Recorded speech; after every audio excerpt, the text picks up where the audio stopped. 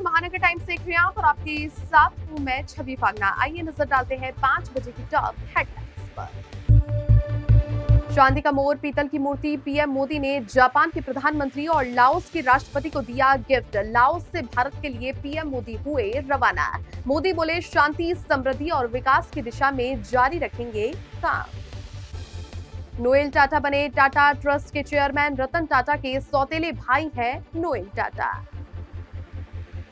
कर्नाटक सरकार ने हुबली दंगा केस वापस लिया। बीजेपी बोली, कांग्रेस आतंकवादियों का समर्थन कर रही। एआईएम, एमआईएम नेता समेत 100 से ज़्यादा लोग हुए थे गिरफ़्तार। हैदराबाद के दुर्गा पंजाल में तोड़फोड़, देवी की मूर्ति का हाथ तोड़ा। पुलिस बोली, आरोपियों ने दान पेटी हटाई, जिससे प्रतिमा खंडित हुई।